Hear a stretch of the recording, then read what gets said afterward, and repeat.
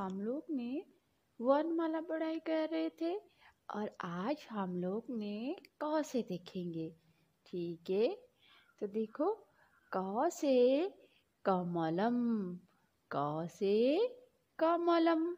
कमलम का अर्थ है कमल, जो लोटो से। ठीक है? तो देखो क से कमलम, ये क्या है? कमल है लोटो से। ख से खगह ख से खगह। ये देखो, ये क्या है? चिड़िया है। खगह का अर्थ है चिड़िया। तो ये क्या है? एक चिड़िया है। ग से गगनम, ग से गगनम।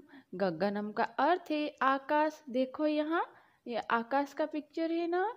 तो ग से गगनम। गगनम का अर्थ है आकाश। फिर देखो, घ से घट। घ से घट।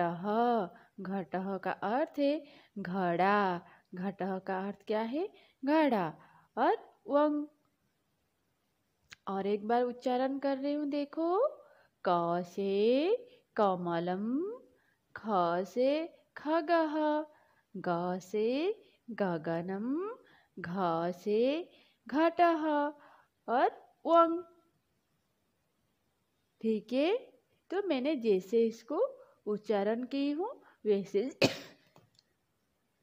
वैसे ही आप लोग को उच्चारण करना है। ठीक है बच्चों?